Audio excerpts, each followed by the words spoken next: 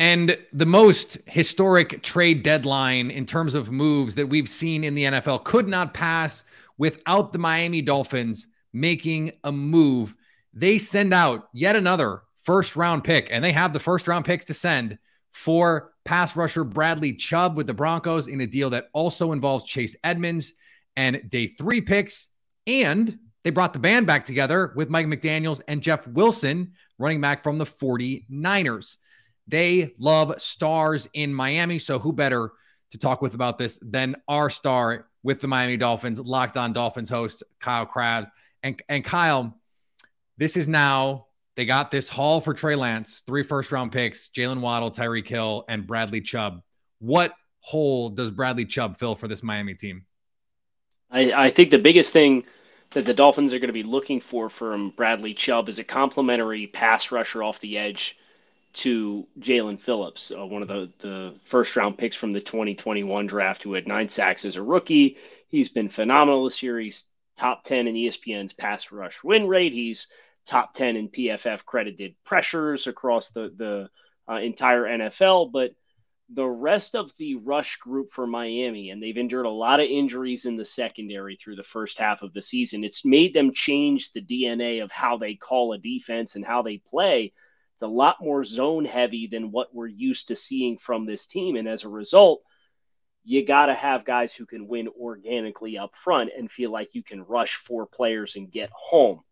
It was, are they going to go out and get another corner? Do you believe Byron Jones, who's on the PUP, is going to be back? Well, the messaging has been consistent. They believe at some point they will get Byron Jones back. And that's what's pretty exciting is if and when he does come back, this front that is now much more tailored to play zone defense now you can play man behind that as well. And it really gives you the chance to not be so blitz dependent to get pressure on opposing quarterbacks, which this Dolphins team has been.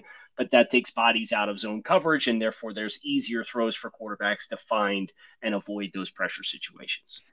Yeah, the Dolphins have pressured opposing quarterbacks 22% of dropbacks this season, according to ESPN stats and info. That was the fourth lowest rate in the NFL. So offensively, we've seen what this team can do when when they allow their playmakers to go to work. Tyreek Hill on a historic pace this mm-hmm. season. Um, but the defense, as you mentioned, has had some issues with fit, with trying to find the perfect way to play. What kind of floor raiser and ceiling raiser can Bradley Chubb be? How much better can they be with him in the fold?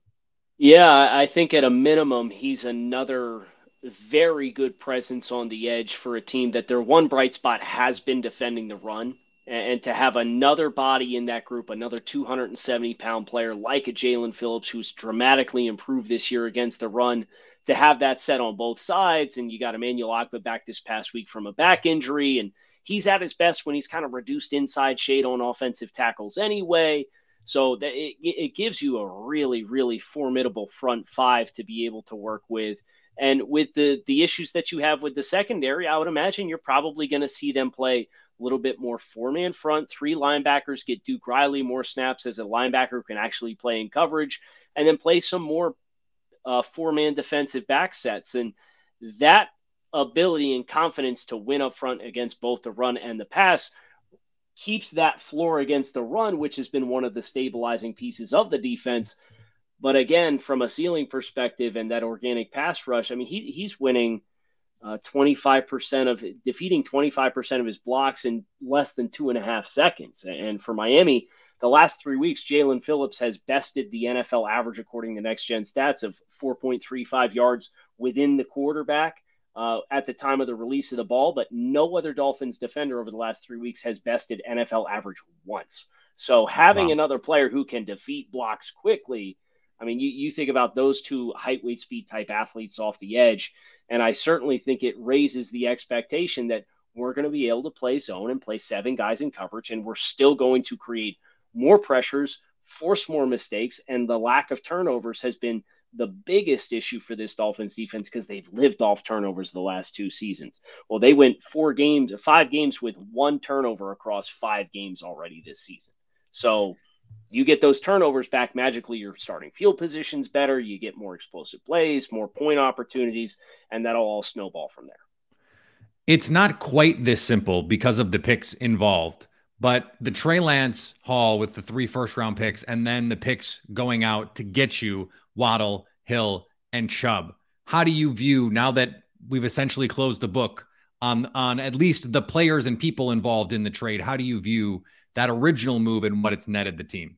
Yeah, you, you can't help but feel really excited about the net and return, right? And, and really, the only player who was uh, a bet was the Jaylen Waddle selection because the other two players that are coming in have a established NFL resume. Now you're going to pay for it, but this was this was this goes all the way back to 2019 when the Dolphins promoted Chris Grier. They relieved Mike Tannenbaum of his duties as the the VP, uh, president of football operations, or whatever his title was, and Grier became the guy in control. And they stripped down all the bad contracts, the Robert Quinns, the Ryan Tannehills, the um, Kenny Stills, all these players that that they had this mass exodus, and it was to build up salary cap space and draft selections, build through the draft, have a young nucleus of players on rookie contracts so that as this maturation of this team and this rebuild takes place, you are in a position where you can pay established players. And, and you know, they played the law of averages in the NFL draft, and they haven't hit every single draft selection that they've made out of the park. But as you've identified what areas you have and have not had success with, it makes it so much easier to, to swallow the pill to say, we are going to send a one and a four for Bradley Chubb at the trade deadline because you're five and three. You're really well positioned to make a playoff run here and you're going to have this player with an opportunity to extend him and make him a long-term piece as a 26-year-old pass rusher who's been very, very effective rushing the passer. So uh, that Trey Lance pick too, you you expand it back, and it's one of the pieces of the Laremy Tunsil trade. So as fun as the Trey Lance deal is, if you go back even further and look at everything they got with Laremy Tunsil with the two ones and the twos, and it is just an astronomical haul and I don't think this Dolphins rebuild is anywhere near where we see it now without that Laremy Tunsil deal that they kick for more picks down the road from here. And they, they, they will still have at the very end a third round pick from San Francisco this upcoming draft to be the final piece of that Laremy Tunsil trade when it's all said and done. I know this is not the part of the day that's going to make the headlines, but Miami did replace Chase Edmonds, who goes out as part of this set of transactions with Jeff Wilson. As I mentioned, reuniting with Mike McDaniel, they were together in San Francisco. What is the appeal of making this swap for Miami? Well, Edmonds was a player who the team seemed to be pretty willing to bet on. They, they gave him a pretty substantial contract in the offseason. Um, looked like throughout training camp and preseason and the first week against New England, he scored two touchdowns, I believe. Like he looked like he was going to be the guy. But he struggled with drops. He's leading the team in drops, and he's supposed to be somebody who's really effective as a pass catcher out of the backfield. The drop off from Mostert to Edmonds in the running game has been startling. Mostert, you know, averaging a healthy four and a half yards per clip or so. I mean, Mostert was barely over three yards per carry, uh, or Edmonds was was barely over three yards per carry, and um, to have somebody that can come in that knows the system, knows the calls, know how Coach McDaniel wants you to read your gaps. Um, you go back to the Sunday night game on the fourth down decision, the controversial decision to skip on the field goal and instead go go for it on fourth and short. Chase Edmonds cuts that that run back into the teeth of the defense when if you went back and looked at the RPO, if he would have just pressed to the play side, he probably would have got the boundary and at the very least got a first down. So it's some misreads there, drops in the passing game that's been very frustrating for Chase Edmonds. And I'm sure that they love that they were able to parlay, get the rest of the Edmonds contract that they gave off the books with him struggling as much as he is, and then go get a guy that you know exactly what you're going to get and is going to execute the way that you want him to a lot going on in Miami. It is appropriate that in South Beach we have a bunch of stars. We have Kyle there as well, helping us out with everything going on with the Miami Dolphins. Check him out wherever you get podcasts. Check out Locked On NFL on YouTube and wherever you get podcasts. And of course, check out Locked On Sports today. Thanks, Kyle. Thanks, Peter.